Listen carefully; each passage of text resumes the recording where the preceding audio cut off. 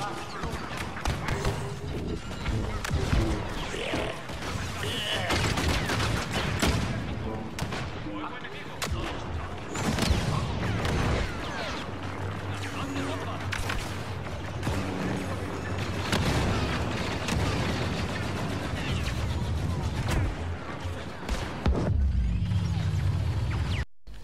Hola a todos, estamos aquí de vuelta en el canal con un nuevo vídeo de Star Wars Battlefront 2 y es que hace nada hemos tenido esta nueva actualización y ya tenemos noticias de posible contenido que podría llegar a Battlefront 2 y es que al parecer se han metido en los archivos del juego y han podido desentrañar, eh, desentrañar un arma. Este arma en cuestión es la DC-17M. Para el que no reconozca este arma, aunque lo dudo, eh, la aportan los clon comando. Y esta es una de las cosas que ahora nos lleva a pensar. Eh, ¿Van a meter solo el arma o van a meter como el refuerzo en cuestión a los clon comando y evidentemente junto con los droidecas? Eh, esto podría ser básicamente que solo nos metan el arma. No quiero hacerme ilusiones, por así decirlo, porque luego llegan los fiascos. Pero podría ser perfectamente que nos incluyeran a los droidecas junto con los droides comando como refuerzo. La pregunta sería... Eh, cómo se llamaría esa clase de refuerzo, porque el infiltrado pues ya lo tiene eh, los droides comando y los ARC. Pues si recordáis anteriormente en filtraciones anteriores, los ARC Troopers se iban a llamar Sentinel o Centinela. Así que podría ser perfectamente ese el nombre que podrían tener el clon comando y droideca. Habrá que esperar al roadmap del mes que viene, yo supongo que para la Star Wars Celebration, no sé si exactamente en la Star Wars Celebration, eh, pero sí en esas fechas tendremos el roadmap, no digo en la feria en cuestión de la Star Wars Celebration, pero lo más seguro es que sí que tengamos por esas fechas el roadmap del próximo contenido futuro que tengamos en Battlefront 2. A raíz de hablar de los infiltrados me dio por pensar y es que ya sabéis tenemos ejecutor y aéreo en todas las eras, pero infiltrados no. Y ahí es donde lleva la, cuestión o lo que me puse a pensar y la pregunta es... Eh, ¿Meterán refuerzos infiltrados para las demás eras? Y diréis, ¿cuáles podrían ser perfectamente eh, para la Guerra Civil Galáctica.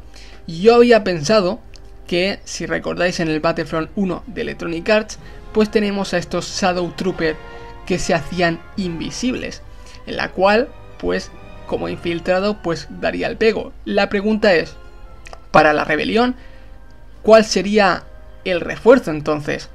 Si recordáis en el Battlefront 2 de Pandemic, teníamos a los Bozan, estos Bozan si también se hacían invisibles, la cual tenía una especie de arma que no recuerdo muy bien cuál era, pero eh, estos personajes también se hacían invisibles, así que podría ser una combinación perfecta de infiltrados y evidentemente pues tendrían que tener su radar y cosas como tienen los RC y también los, eh, los eh, droides comando.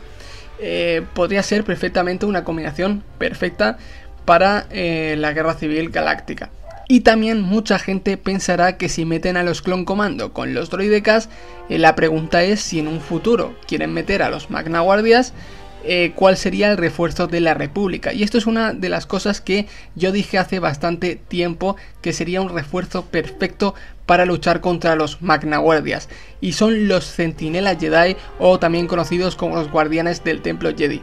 Así que estos podrían ser perfectamente eh, complementados porque los dos tienen un, ataque a melee, otros con una espada láser doble y los otros con una barra eléctrica. Podría ser la, mejor combinación, creo que no hay otra que se podría asemejar para luchar contra los Magna Guardias y encima caberían perfectamente junto con la República. Así que podría ser un refuerzo bastante interesante y muy chulo de utilizar, al igual que los Magna Guardias, que son una de las cosas que más pedimos junto con los droidecas.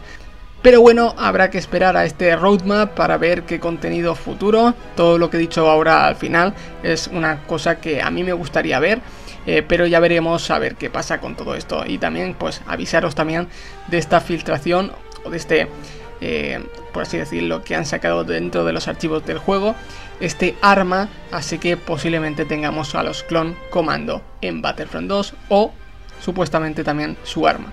Y también, entre comillas, se ha filtrado el póster del episodio 9. Eh, digo entre comillas porque no le puedo dar una veracidad a esto porque eh, parece ser eh, bastante falso. Pero yo creo que en cuestión de los personajes sí que es cosas que van a salir en la película. Lo que serían los personajes sí que parece ser oficial porque los trajes son los que se filtraron y no ha habido ninguna imagen distinta a lo que se filtró hasta ahora, que es lo que vemos aquí, porque tienen eh, posiciones distintas y otras cosas. Eh, pero hay otras cosas que yo creo que el tío que ha hecho esto, eh, no sé si es oficial o no, pero yo estoy diciendo que podría ser falso, básicamente porque me parece que ha cogido imágenes verdaderas de los personajes, pero que luego los ha montado en este póster que, que, es que aparece C3PO con una ballesta y una la bandolera de, de Chewbacca. Eh, yo no sé cómo darle veracidad a esto, pero como digo, yo creo que es eso, que las imágenes en cuestión, los personajes, sí que son oficiales de los que van a ser en la película, eh, pero, eh, pero la construcción del póster es falso. O sea, me da a mí la sensación. Pero bueno, aquí tenéis esta filtración, así que ya veremos a ver qué pasa. porque siempre pues siempre sacan algo antes de la Star Wars Celebration y habrá que esperar. Así que Espero que os haya gustado, suscribiros al canal si no estáis y nada más, adiós.